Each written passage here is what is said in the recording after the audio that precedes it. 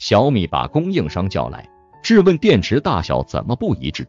供应商嚣张的把电池一摔，你看没爆炸吧？我觉得挺好了。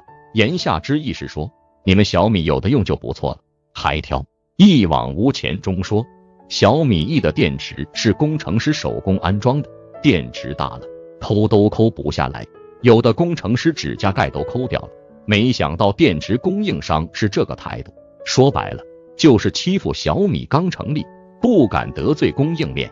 小米接待过一个做触控的供应商，对方来了两个代表，大马金刀的往沙发上一躺，鼻孔朝天的说：“老板让我们过来看看，我们来走个过场。我知道没什么生意。”一往无前中说，手机作为最复杂的电子消费品，内部有几千个零件，要搞定上百上千家供应商。而且供应商还要投入巨大的研发成本，和手机厂商一起做研发，很多元器件都是独家定制的，有的手机厂商做到一半倒闭了，供应商的研发成本就打水漂了。所以他们挑选手机厂商时很谨慎，早期的供应商都是雷军亲自出马，一个一个谈下来的。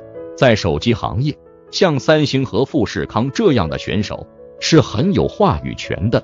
不是有钱就能换来合作，人家的订单都排到几年后了。所以小米得罪三星以后，小米五直接缺货，雷军差点没气死。他亲自往韩国飞了好几趟，去三星总部道歉。即使这样，三星才答应继续合作，但是两年内的产能排满了，两年后再说。